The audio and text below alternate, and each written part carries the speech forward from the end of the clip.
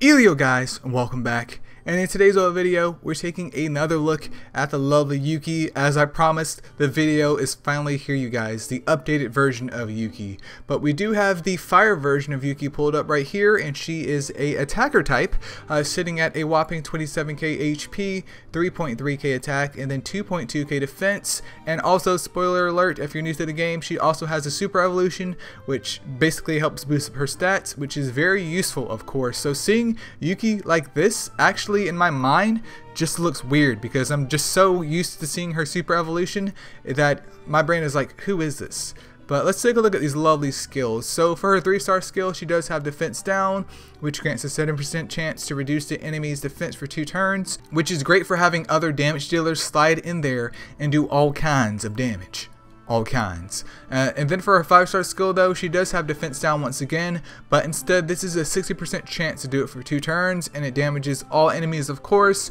And now Yuki's animations are unfortunately dirt nasty slow, but with proper timing they could be very useful for your team compositions, which we will kind of go into here a little bit later. But taking a look at the skill books, uh, the 3-star version of Defense Down received a 20% damage increase and goes up to, I believe, what was that, 80%? Yep, 80% for the 3-star one, and then for the 5-star version, it receives a 15% damage boost and goes up to 70%. No, it's 20%. It's 80% once again for two turns. So booking is helpful in this situation right here, but if you only have X amount of Yuki books, don't put it into this one, just FYI. If you get more in the future, feel free to do so. But you may be wondering, but Eileo, okay, I have her, where's she useful at? Well, if you're in a certain scenario where you need double defense down, I think she's useful in that content. Uh, at some point in time, she was being used in Titans too, so you could definitely run her into Titans as well, but over time, she's just been phased out because better options have appeared with them tweaking Nat 4s here and there. But outside of that, there's really not much use for her because she's basically there just apply defense down. So if you need a reliable defense downer who isn't fire canceling, then you do have Yuki and that's pretty much it. Like I don't use my Fire Yuki at all at this point in time. So if you are a avid Fire Yuki supporter, leave down in the comments below where you guys use her at. And then coming in next after that though, we do have Water Yuki, who is a tank type. She's sitting at 37k HP, 2k attack, and then 2k defense too. So those stats seem very, very bad, but she is a Nat 4 with a Super Evolution, so it does get bumped up a little bit there to help with her survivability, though she shouldn't be dying anyways. But let's take a look at these skills. So for her 3-star skill, she has Sap, which grants a 70% chance to inflict the enemy with two types of Sap for one turn, eh, very, very lackluster in my opinion. And then for her 5-star skill, it's a 60% chance instead for two types of sap for two turns. Okay, I can deal with that. So the main usage of sap, of course, is bringing it into golems or basically fighting enemies with a high amount of HP, which isn't titans. So you could also probably slide her in into the, I believe, the water colossus and sap him that way if you don't have any other sappers. And that's really up to you to decide to do that or not because Yuki does have a Dirt Nasty slow animation here, but even though it's Dirt Nasty slow, she's still, once again, very useful. But taking a look at the skill books right here, uh, the 3-star sap does receive a 10% uh, damage increase, useless at this point in time, goes up to, I believe, 80% for two turns. 80% for two turns. Uh, then the 5-star version of SAP also receives a 15% damage increase and goes up to 80% once again for two turns. So with both of her SAPs fully booked up, it does make her sapping a lot more reliable than what it was before. But my main issue with uh, the lovely Water Yuki here it's not so much her slow animation, it's just that so much investment is needed to get her to this point to make her viable when we have access to a mon like Water Sea Star, which Smart Study just went ham with, and they made her a very good sapper with like one eighth of the investment needed for Yuki. Especially as a newer player, the chances of you pulling X amount of Yukis to get this one to Evo 3 in particular is very low. The chances of you pulling out Sea Stars you probably have 5 million of them before you get your lovely Water Yuki to Evo 3 if you want to use her. So in this case, it's not that she's bad, it's just that we have easier options that are just more cost and time effective, at least in one man's opinion. But I'm not stopping you from going out there super Evoing her and using her in Golems or Colossus or wherever you basically need a separate. Just one man's opinion. Don't come for me. And then coming in next though we do have Wood Yuki who is a balance type and she's sitting at 30k HP, nearly 2.7k attack, and then 2.4k defense. So decent stat distribution, of course get, it gets boosted up with her super evolution as well, which is a very nice thing. But in terms of her skills, because all the Yukis basically have the same 3 and 5 star skill ex except one of them, it's very easy to kind of see where her usage is at. So for the 3 star skill, Expose Weakness, grants a 70% chance to expose the enemy's weakness for 2 turns. This means more damage for whoever takes that exposed weakness hit. And then it's also the same thing for her 5 star skill where this basically turns into an AoE. Now I honestly haven't seen exposed weakness used in like PvE just because I don't think it makes sense to because if you're going to waste a turn getting exposed weakness to get stuck on an enemy. Why not spend that turn making sure that they've passed away via puncture or any other wave clears in the game? So her main usage of course would be something like Colossus if you wanted to use her there. Maybe the Dimensional Dungeon if you're feeling spicy. And in terms of Apophis, uh, that's very interesting of where you could use her at there. I'm not sure if I actually use mine there or not, but it could be interesting having that exposed weakness line up there. And of course, Titans was where I was using my lovely wood one too. However, once again, times have changed, at least for me. I understand people don't have all the Astromon that I have because I've been playing the game for 25 years. But, you know, there was a point in time where I used her as part of my Titan composition but I end up getting other mons to basically fill in her slot and help me do at least 5 more damage in terms of titans. But once again, just a setup mon. Her main selling point isn't to do damage, it's just to help other Astromon do damage. So we can see right here, her 3 star version of Exposed Weakness receives a 20% damage boost and it goes up to, I keep forgetting these numbers man, 80% for two turns, and then it's going to be the same thing for the 5 star version where it's a 20% damage increase, and then it goes up to 80% for two turns once again. Let me double check. Yep. So that's pretty much it. She's there to help someone else do damage, and as soon as you pull something better, you'll probably end up replacing her, but I could be wrong about that. I don't think I am, but I could be. Alright, and then next up here we do have Light Yuki who's also an attacker type. One of the best choices that you could have made if you decided to pick her for your light slash dark uh, Nat 4 card. Uh, I've been using her ever since I've gotten her and nothing has changed. If you guys have seen my Merlin review, you would know that I've been using the same PvP team for the past 28 years and nothing has changed whatsoever in terms of that PvP team as well and I can just auto to a point where I'm happy and never have to manually do PvP at this point in time. But anyways, yeah, she is an attacker type. She's sitting at 27k HP, 3.4k attack, and then 2.3k defense. So quite a frail girl, but she can also hit with the best of them here. But let's take a look at the skills here.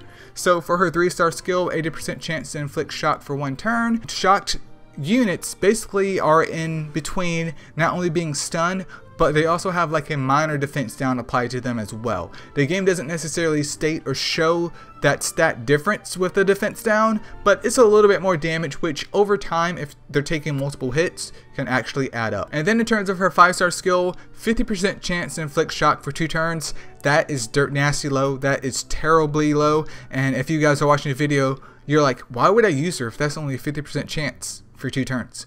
How is she so good, Eileo? Why are you still using her with that lovely rate right there? Hold on. Hold on, fam. Hold on. So for her 3-star shock, it does receive a 20% damage increase, which is nice considering she has a 3.4k attack stat. You know, this is totally without Super Evolution applied as well, and then it does go up to a whopping 2 turns. So she's sitting at 80% chance to shock for 2 turns as a Nat 4. I'm sold. And then taking a look at the 5 star shock over here, it also receives a 20% damage increase and then boosts up that 50% shock to 70% chance for 2 turns. So not only do you have a Nat 4 that has a 2 turn very decent rate shock on a 3 star skill, but also the 5 star skill, what more could you ask for? Like, what more could you ask for? But yeah, super great Astromon. She is part of my uh, crowd control squad where I rock two lovely light Yukis in PvP offense paired it with my Light Griffin and my Dark Merlin, and we're just Smiley Face Gaming over there. I use that baby girl every single day in PvP. Great for clan versus clan as well. Wouldn't really take her into PvE in terms of doing wave clearing because while she can do that, you know, mons like Fire Jacket just have a faster animation, can get to their 5 star skill a lot quicker, and yeah, that's pretty much it. I mean, she's also part of my lovely uh, auto uh, Tower of Chaos squad too. So from floor 0 to 100, I use my exact same PvP team and get to floor 120 every single time, no problem. So definitely a worthwhile investment if you have the other Astromon to pair up with this lovely uh, baby girl. Alright, and then last but definitely not least is the lovely Dark Yuki. She is a tank type, you guys. She's coming in with nearly 40k HP, 2.3k attack, and then a whopping 1.9k defense stat. So I know what you're thinking. You're like, wow, she has no defense at all. It doesn't matter how much HP that she has because she's just going to pass away. Well, I hate to tell you this, but you're probably wrong. She is still very useful, especially with that super evolution to help boost up that lovely defense on her, and her HP stat is already good enough. So you could technically get away with rocking maybe like an HP defense defense gem set depending on your usage for her. But taking a look at the skills, this is the first time in Yuki's history where her moves aren't the same for her 3 and 5 star skill. It's like Smart Study was making up her kit and was like, you know what? We can actually use more than one skill on this Astromon. Let's just do it for Dark Yuki only. And everyone else there was like, oh, okay, sure. But taking a look at the 3-star skill, SP Siphon, she siphons X amount of uh, SP away from the enemy. Very great for crowd control and preventing the enemy from getting their 5-star skill off. And then for the 5-star skill, Sap comes back once again with an 80% chance for 3 types of Sap. So 3 Sap stacks for 1 turn. I know, once again, just like Light Yuki, you're like, Eileo, this sounds terrible. Why would anyone pick freaking Dark Yuki as part of the Light and Dark Nat 4 selection cards? Why would anyone use her? Wait, just wait, there's more. So SP Siphon does receive a 30% damage increase, could be useful, could not be useful. Her main selling point isn't so much her raw damage, even though she is a Darkmon, but here's where the spice comes in. So sap, remember it was 80% chance of three types of sap for one turn? Congratulations, fully booked up. This sap goes up to two turns. 100% chance of three times sap. I don't know of any other Nat 4 in the game, at least right off the dome, that has this percentage of sap. That is 100%. There might be one or two, if I can think of them, which I can at the time of this video here, but the main selling point of this is that that is a very high rate of sap for very low investment if you think about it, because the other Astromon that come to mind with three times sap is Water Artemis, who is a Nat 5, and then also Fire Persephone, who's also a Nat 5. But you're telling me I can get a slice of that pie with a Nat 4? Uh, oh, I'm all in, fam.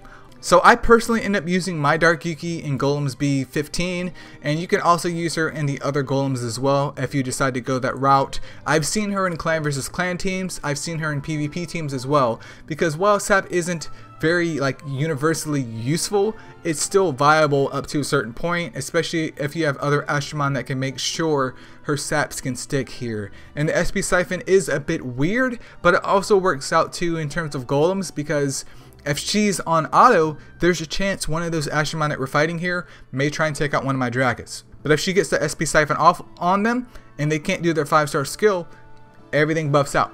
So it does work out in the end. A bit awkward, but once you pair her up with other mons like Fire Jacket to the point of where she's spamming her 5 star skill, you literally just forget about SP Siphon and you have things going on nice and smooth, especially later on in the game. So she is definitely one of the best sappers in the game and just overall a very good unit because with her being dark type, her only elemental weakness is light Astromon. She's also naturally fairly tanky, so if you want to build her more offensively, but in this scenario, I would just build her with like HP, HP defense or HP defense defense just to give her maximum survivability for the lovely golem waves. But yeah, that's pretty much it you guys. This is the updated version of Yuki. If there's anything to take away from this video, it's Light and Dark Yuki are two of the best nat 4s in the game hands down. Very useful uh, family right here. The RGB do have their uses, especially in terms of like mid-game Titans, but once you get deep into Titans, they do fall off, and nothing really rung a bell with me outside of, I believe, the Wood one, who has double exposed weakness in terms of using them, you know, in the Dimension Defense, or even the Dimension Dungeon.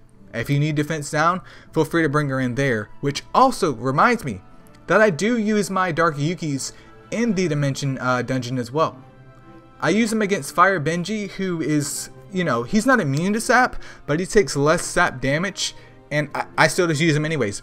Why? Because they survive, they can get their saps off super quick, and it doesn't matter if you are slightly resistant to sap, since you're not immune to it, you're not immune to the 5,000 stacks that get applied to you, and you end up passing away regardless. But that's pretty much it for the Yuki review, you guys. More um, updates for other Astromon are on the way here. Uh, consider subscribing if you haven't already, even though you just saw my cat's tail. And yeah, that's pretty much it. See you.